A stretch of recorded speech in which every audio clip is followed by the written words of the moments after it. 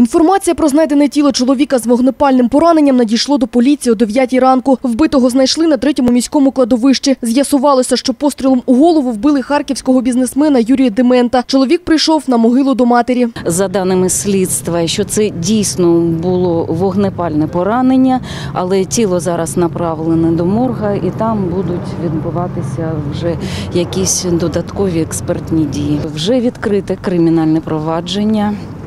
За статтею 115, частина перша, це умисне вбивство. Окрім правоохоронців, на місце трагедії прибули й відомі політики. Серед них журналісти побачили і Михайла Добкіна, і мера Харкова Геннадія Кернеса. Проте коментувати свою присутність на місці трагедії очільник міста не став.